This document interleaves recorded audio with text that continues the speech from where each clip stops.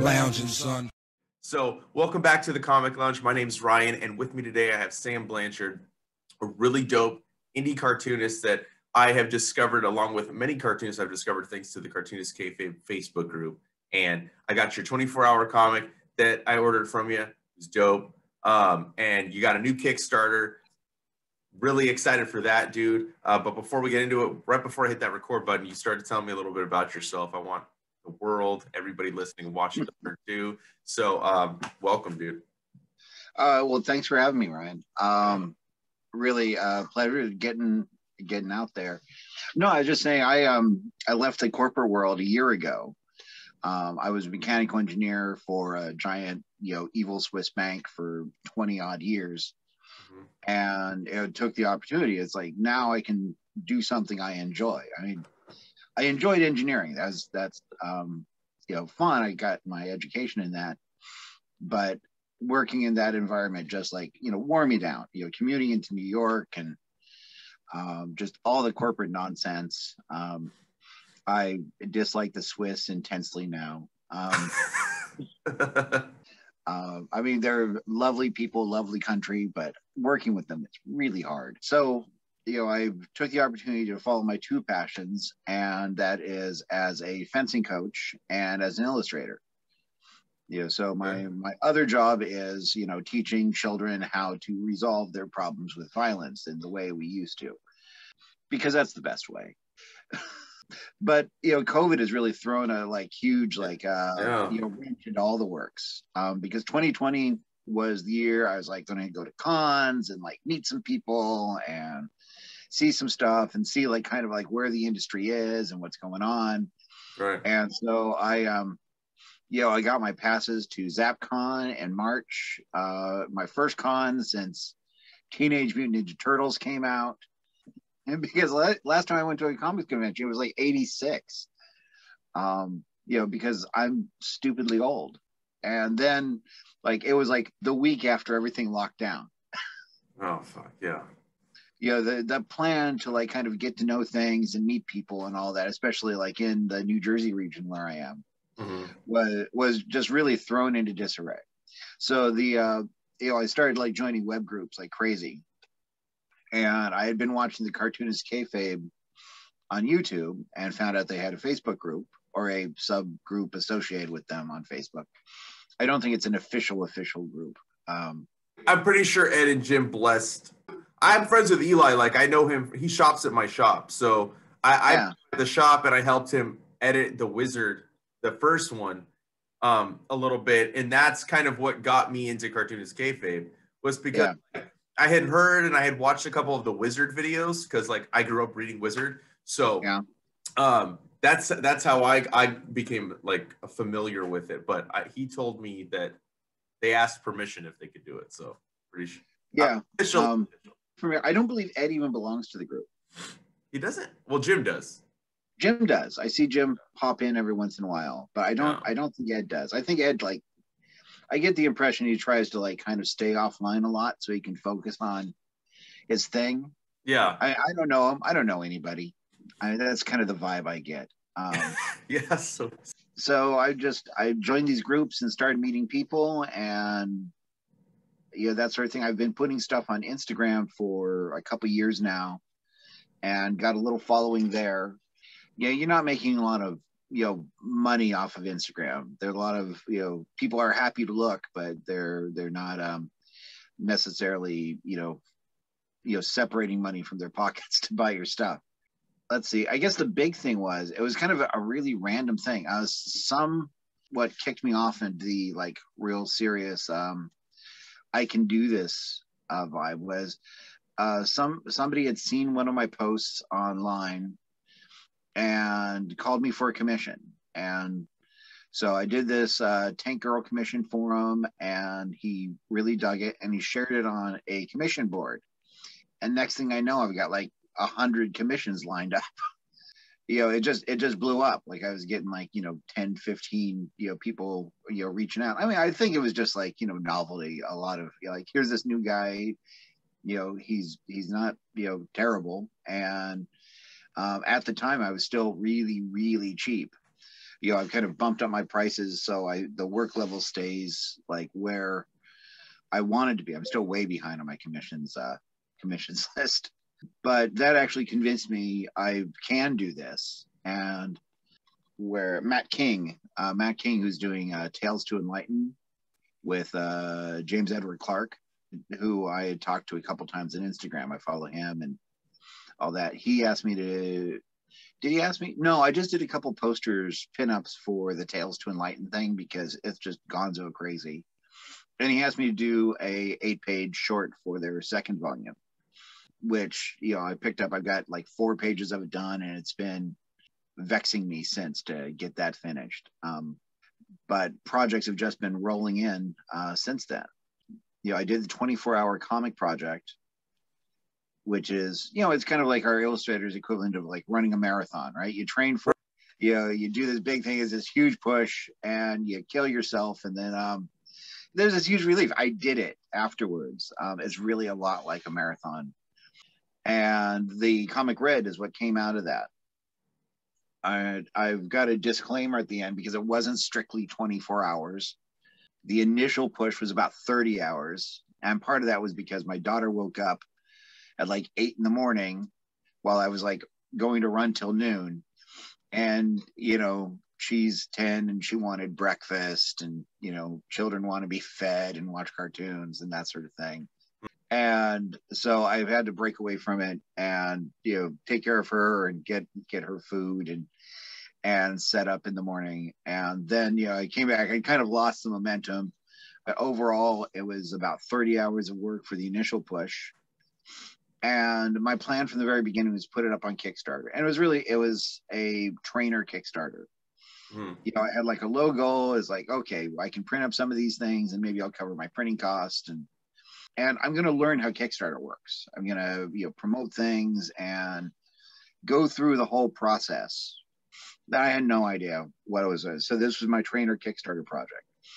It it blew through its funding goal, and one of the things I, I said was like if I I was originally going to do like an ash can size, like a uh, five and a half by eight eight and a half uh, size, and then when I got to the uh, you know like more than a thousand in, in funding, I I decided I was going to do like an eight by 10. That required that I fix a bunch of the panels because the aspect ratio is all different. I couldn't just like zoom it out and have it fit.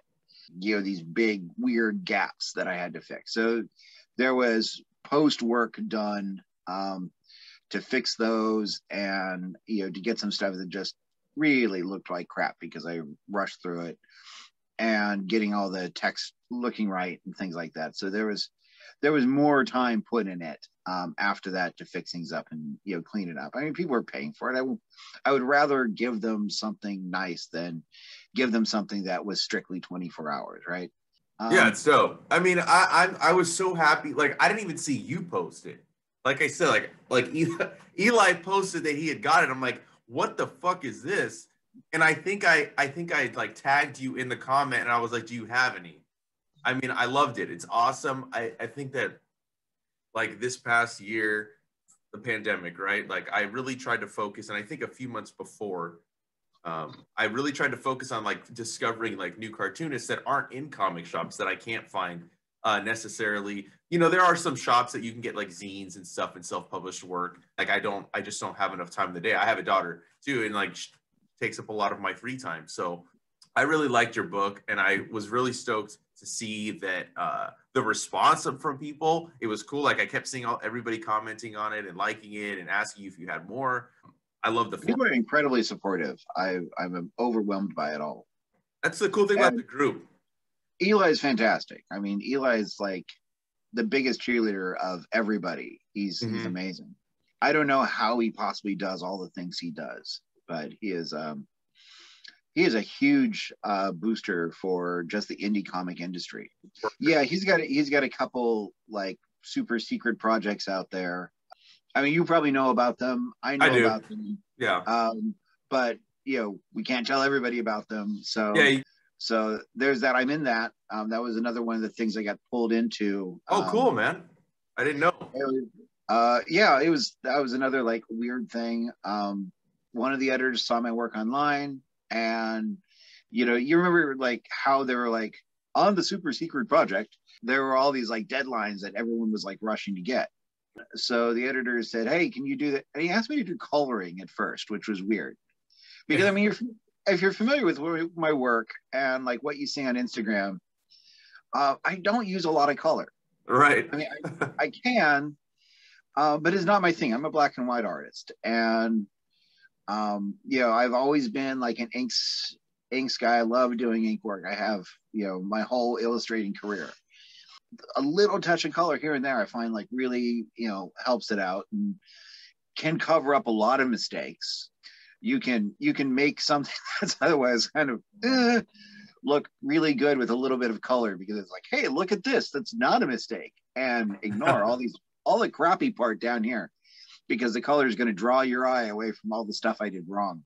So he, he called me and was like, we've got this stuff. The guy, you know, can't get the coloring done. And can you color it? sure, why not? So I colored that and, you know, they really liked it. They're happy. I did it fast. You know, and so they picked me up for a couple more stories in there on on the backside of that. So I did those. They look really cool. The the authors gave me some great stories to work with. You know, not for kids, uh, but really fun. Uh, yeah, I, I, I, pre-ordered the minute uh, Rocco uh, posted that that thing in the group. Yeah, it's um. So yeah, you know, you'll see it out there under under my pen name Shlepzig. I teach like a grade school like comic book thing, and I teach fencing to grade school kids.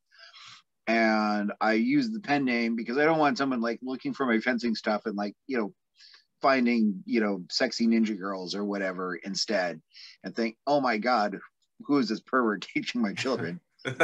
Um, so I mean it's no secret that I am a Shlepzig but it's uh it's also like just enough degree of se- separation that it doesn't come up in like an immediate like casual Google search Sam Blanchard fencing, and it's like, oh my god, what am I looking at? I used I used the pen name. It was a handle I used online pre-web in um in the days of like VT100 emulators um, that we ever did everything online in text.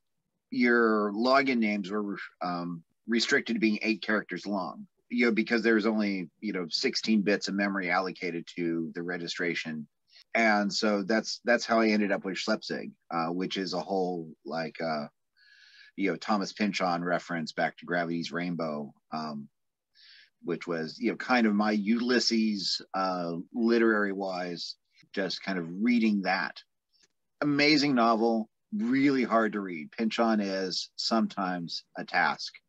I don't know if you're familiar with with no. Pynchon he is he is really fun but okay. he's got this kind of stream of consciousness sense of writing that you know you'll you'll be in a room and a guy walks into the room and then the plot follows the guy walking out of the room which isn't the guy you were just talking about. And then he goes and talks to somebody else and the plot follows that person that he talked to. Oh that sounds kind of interesting. It goes round and round and it's it's very non-linear stream of consciousness sort of you know way of writing which i i love it's very challenging but it can also be so challenging it's hard to finish uh, i recommend crying of lot 49 which is a good trainer novel uh, for Pynchon. It gives you a taste okay. of his style, but it's not as hard to read as like uh, Gravity's Rainbow or Vinland or um, any of any of the other like big novels that have come out. Let's let's talk about comic books. Let's talk about how you what started your love for comic books and then in turn what or who maybe what artist inspired you to like want to uh do this like oh only kind of Ricky. I mean like like most kids of you know the 70s I read comics you know all the time I would you know, my mom would buy me like, you know, whatever was on the newsstand to shut me up when I was at the store or whatever. Mm-hmm. And so there are, you know, stack of like old Marvels and things like that that have been read to death um, in in the boxes here in my little crapple studio. You know, I, I just I just love the words and pictures and the images just excited me. My parents are both artists, so you know, visual, you know, the visual arts and everything was like really kind of ingrained in our household. So I gravitated on that. And you know we always had they they taught art history. Um, my my father taught art history in a high school and my mother had taught art history in high school and taught art itself in a couple schools. But and so you know those early things like early dcs and early marvels which is kind of funny because that's those issues are the ones that are being mined today for all the mcu stuff. Yeah i know.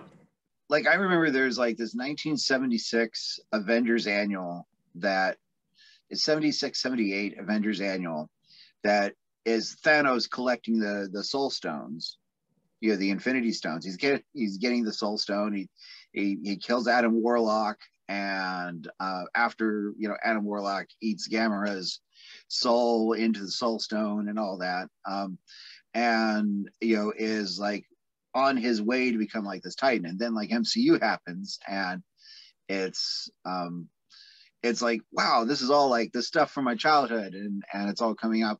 But they're doing it wrong. Where's adam warlock? Um yeah it's like what they're doing with wandavision and the west coast avengers stuff. You know i was listening to i've really been loving rob liefeld's podcast Robservations. I think it's his passion and and how it's just funny like hearing uh industry stories through the lens of him you know yeah. Um, I mean, I love listening to him. He's amazing. He's like Mr. Yeah. Energy. Uh, yeah, dude. I mean, it's so his enthusiasm and his passion is just like he exudes it and it gets you excited. So he was talking about early on, right? In the in the beginning of WandaVision, a lot of people, well, whatever. Some people just couldn't get it and couldn't sit through it, right?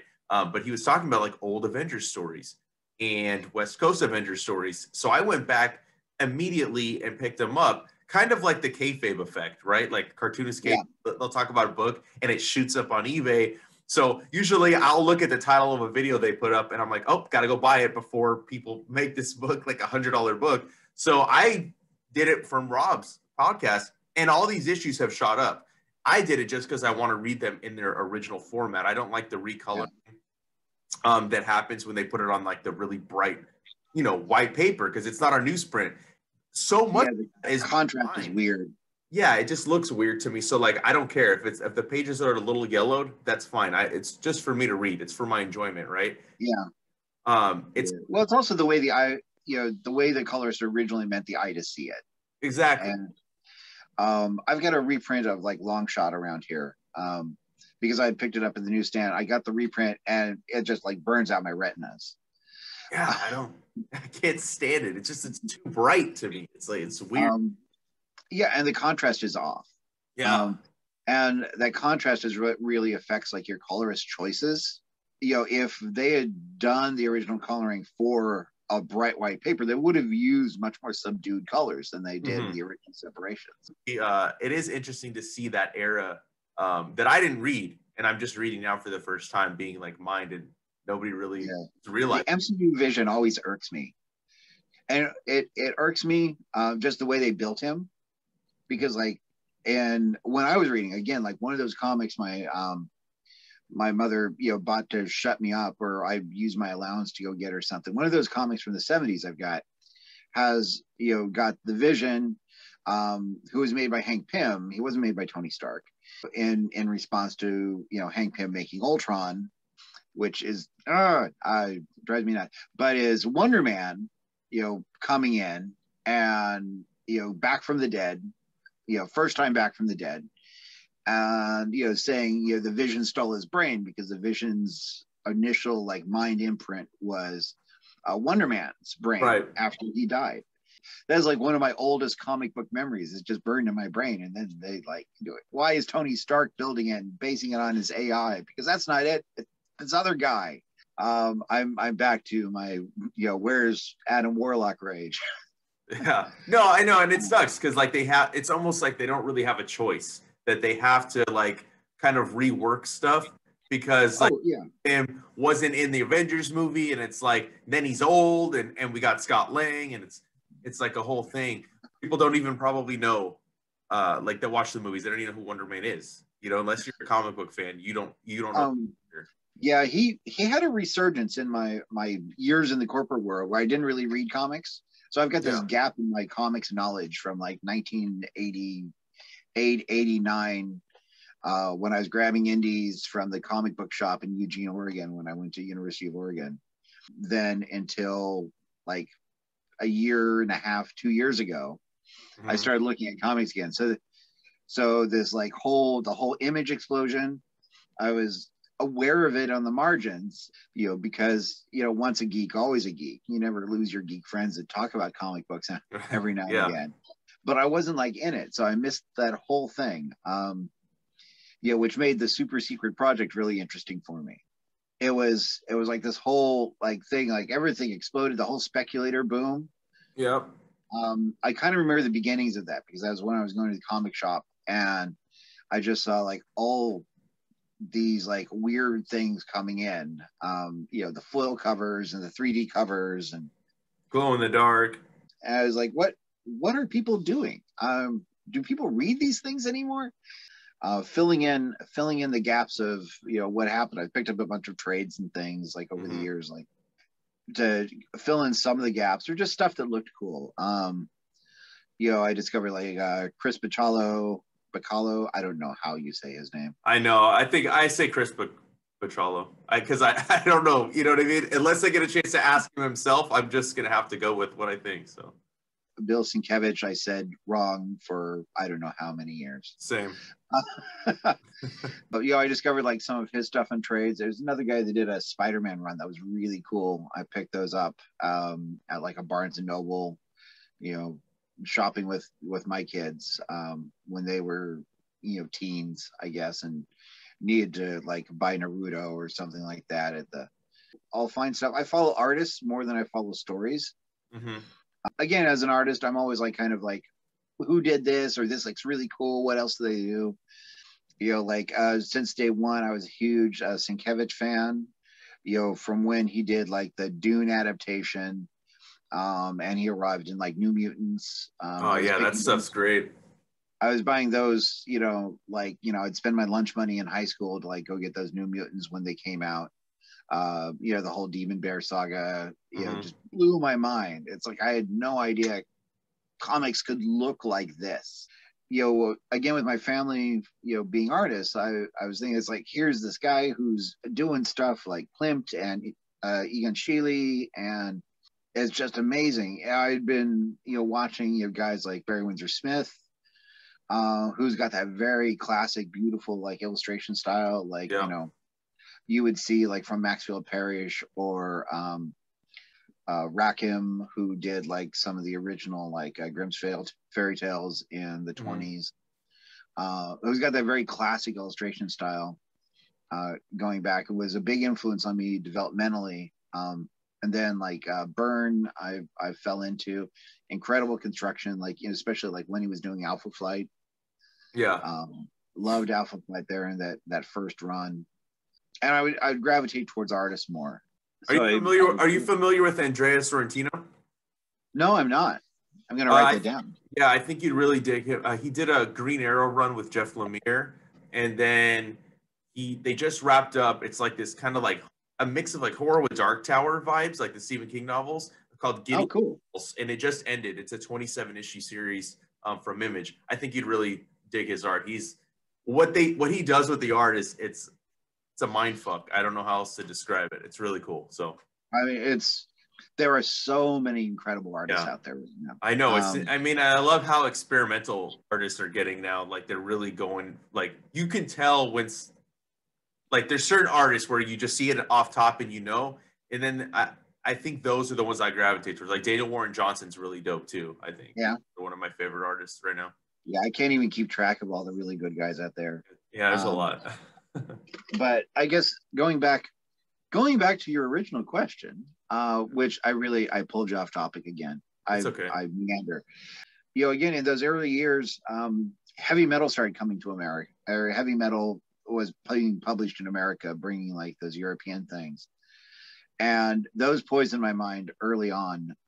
It was, you know, you, you like sneak around to the back of the store, like where they had like the adult stuff, and like mm-hmm. kind of, you know, you know, creep out when your you know mom's not looking, and you can like, you know, check out the girly mags. And I was checking out heavy metal.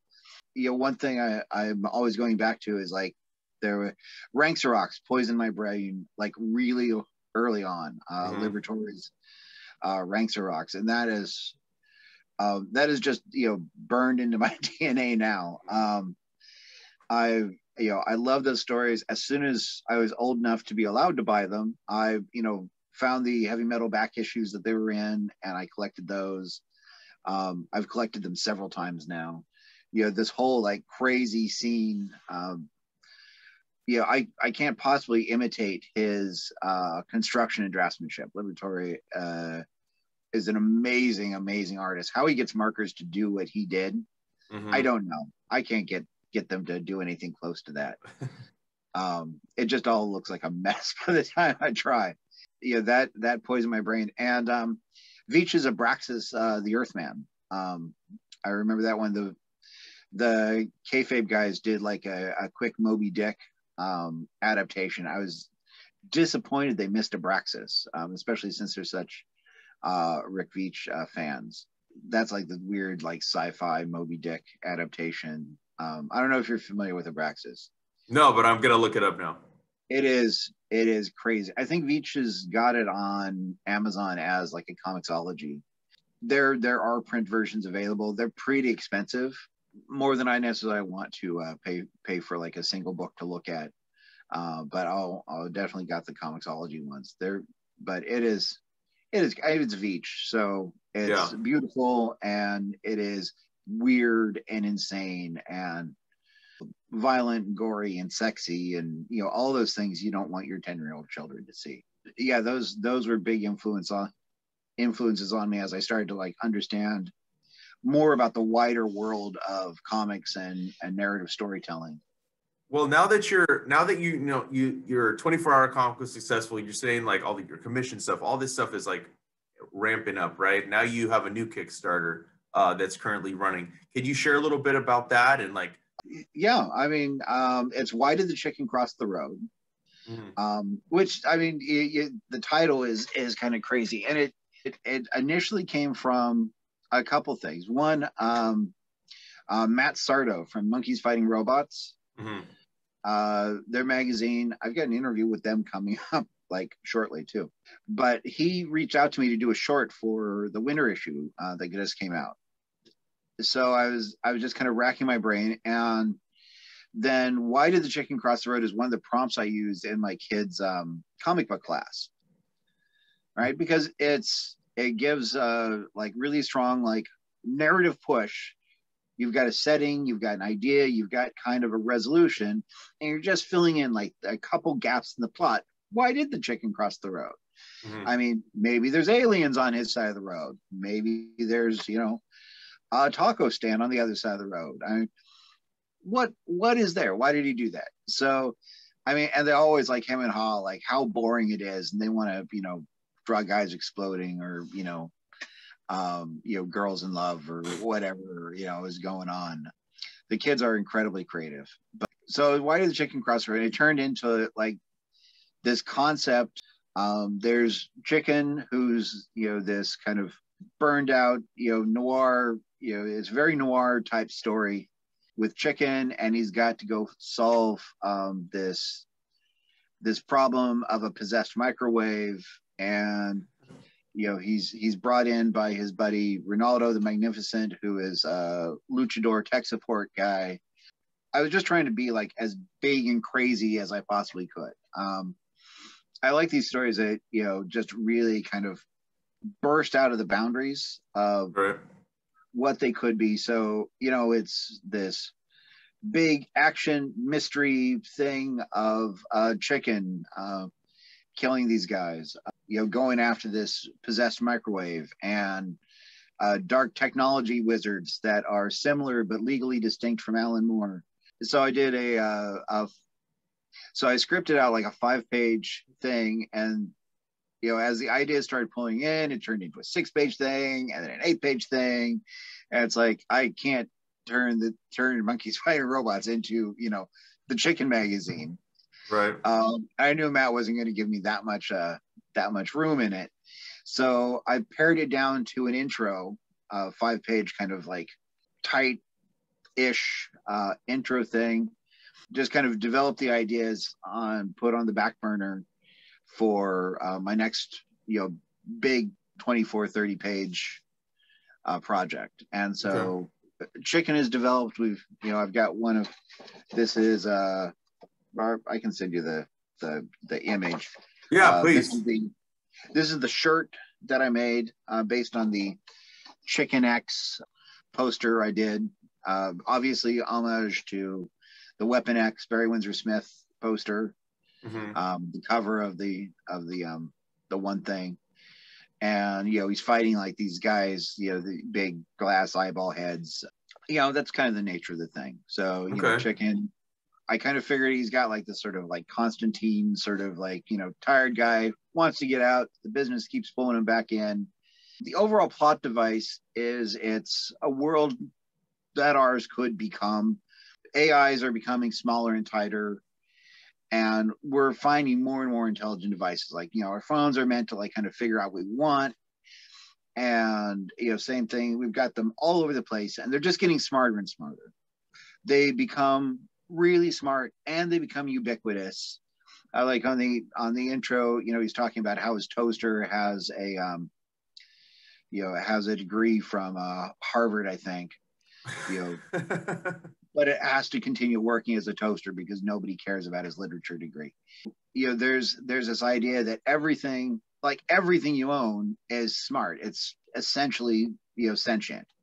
You know, that's cool. Your toaster, that's awesome idea. It's sentient. Your refrigerator is sentient, and you've kind of got them working for you in your house, sort of a slavery thing. I've got this like kind of subtext of artificial intelligence rights going on. In this, this you know this microwave goes nuts and he's got to go you know go find it. His his friend ronaldo you know chicken has gotten out of the tech support business. Ronaldo is still a tech support commando and needs him to come in help him with this job that he can't handle because chicken's the best he is at what he does right?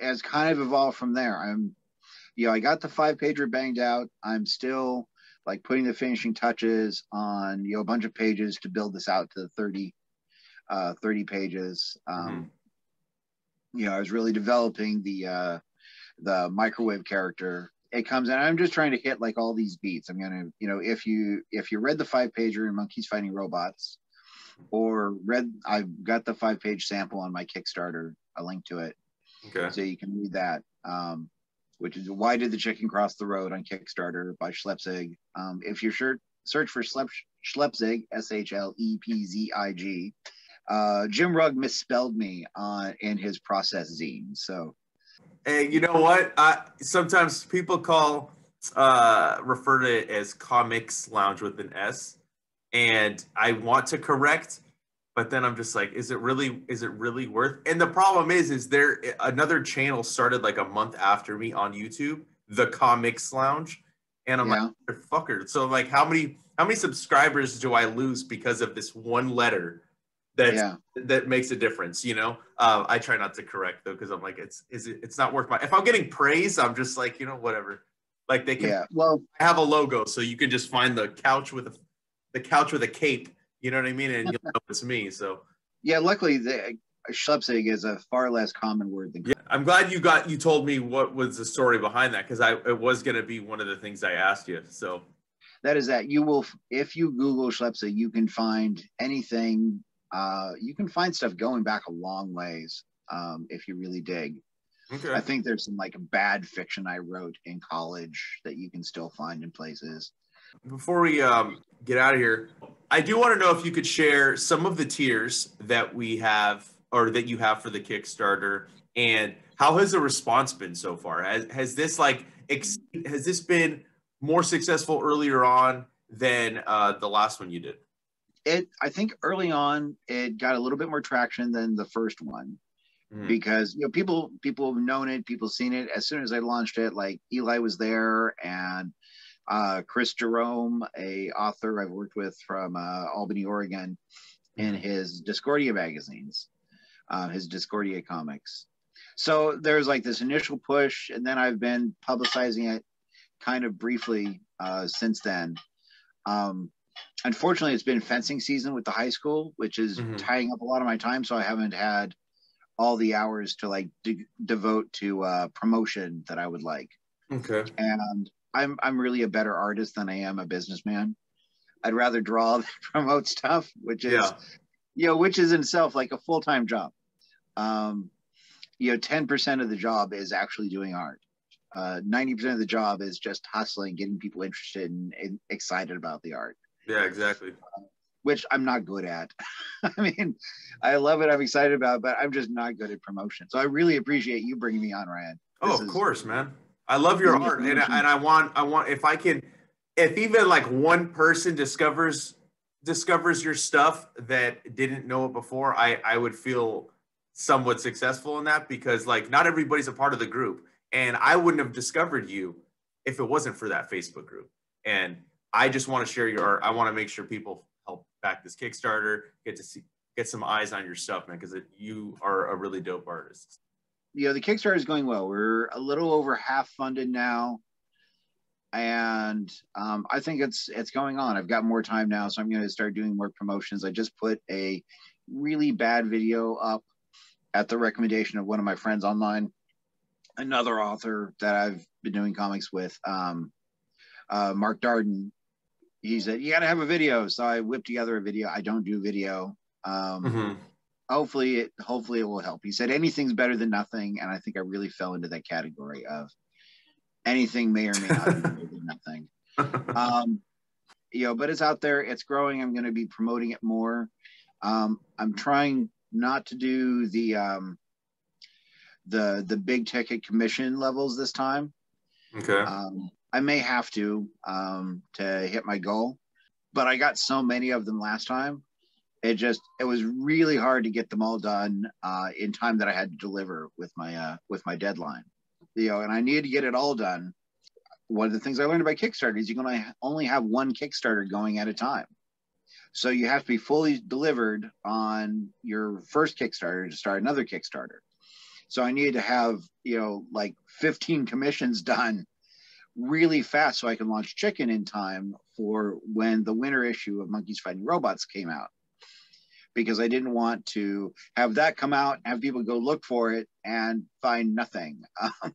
right. So I had to had to get it all finished and this huge stack of commissions. Got through them. They're beautiful. Some of my best work. Um, if you go to my Instagram, you can see all the almost all those commissions are posted. I've got a big Micronauts commission that I'm waiting because he also commissioned a bunch of other things that you know I'm going to send to him one big package. So I'm keeping all the secret until till that's done. But okay, cool. Uh, there's that. And, you know, same thing with chicken. I want to be able to get chicken done, get it out, and then get on to the next thing. I've got a couple more projects. I may not go the Kickstarter route for my next projects. Um, you know, I may I may take some of the money from chicken and just you use that to um, do a print run of the next project, which I want to do a uh, fencing project. Okay. All this has been like kind of training to do the fencing comic that's a, that I wanted to do for years. You know, the the project is uh, Touche, and again, if you if you check my Instagram, I've got a bunch of Touche drawings. Um, you know, fencing illustrations that I've done, uh, fencing of famous fencers, um, portraits of the World Cup guys uh, that are out there. Um, I just did one for Marcus Mepstead, uh, UK fencer, uh, which is what I've got as stickers right right now. I've got some other ones of US like Epee fencers and some other great fencers um, out there. But I want to do a uh, fencing comic based on my experiences as a high school fencing coach. Okay, cool. uh, kind of you know drawing from that the stories and the kids and the drama and the excitement and you know it's a it's a topic i'm passionate about. I love fencing. And you know i think the stories are there. I think it'd be a really compelling comic. There's there's one other fencing comic out there but it is not focused on the fencing as much it is on the young male fencers and their lack of shirts.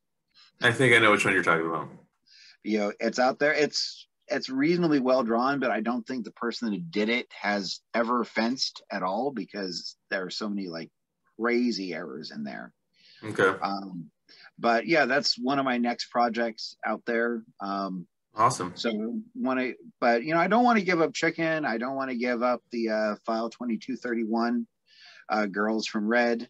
Um, I've got a, um, a limited, like, uh, like a graphic novel level story ready for them um, at Area 51. Um, and, you know, again, like just crazy nuns and go go boots blasting up aliens. Um, yeah, dude.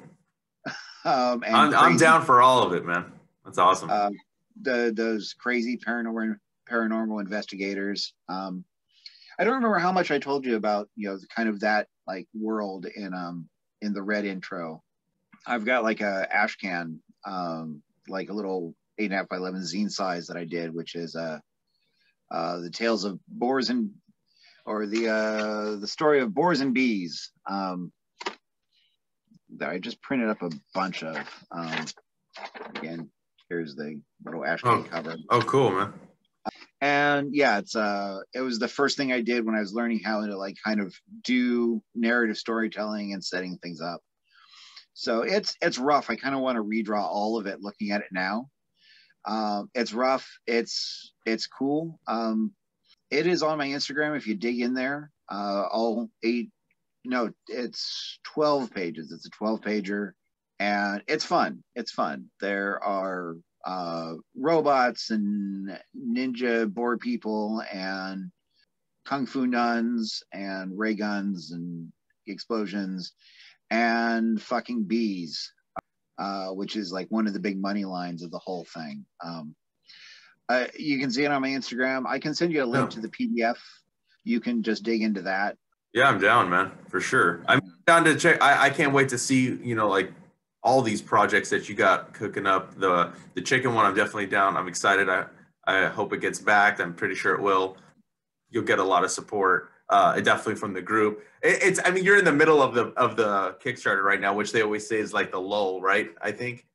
But yeah, I, I anybody listening or watching, uh, I definitely think you guys should all go back this project. And I just wanted to um, before we got out of here for you to share where we can all find you online. And I'm going to drop all these links, including the link to the Kickstarter down below in the comments. Okay, uh, cool. Well, um, I'm on Facebook and, and Instagram as shlepzig.comics and uh, shlepzig.nsfw, uh, which is where, you know, I'll do like figure drawings and things like that, which are nudes, so not safe for work. Um, you know, racier stuff goes there. Um, and I just want people to like have a place where they can see comic stuff and see other stuff. Um, I've got a Patreon where you can see um, early stuff, putting up pages, putting up like high res scans of all the art I'm doing. So like everything gets condensed on Facebook and Instagram when it comes out. Um, if you're on my my Patreon for a buck a month, you can get high res versions of all that stuff. At a couple more dollars a month, you get to see the pages that I'm doing and you have access to all my PDFs and things like that um, at five a month. And if you really love me, you can get like on the on the uh, physical subscription to uh, send send you a care package uh, once a month. Um, you know, whatever stickers, prints I'm putting up on my Etsy shop, uh, which is Shlepzig Illustration on Etsy, and I think that is my meager commercial offerings. I've got a couple others out there, but they're largely abandoned on like Ko-fi and Webtoons and all those all those other things. But projects, um, just so many projects. Um, I'm doing um, the March of Robots prompts just as like a warm up in the day. So I've got a, a like two three hour page of uh, robot story that's coming up with that, and that's just a freebie. Um, but I'm going to package it up into like a like an ash can when we have cons again these are going to be things you can get at you know my table for you know a couple bucks if cons ever happen again. Um, hopefully i'll get hopefully i'll get out to the west coast at some point though i'd be up north. Uh, my family's all in portland so I'm i mean i love i love oregon so I'll, I'll i'll hit you up if you if you go out to oregon for sure. I'm i'm hoping to do um you know i've got my application in for rose city. Uh haven't heard anything back on that yet.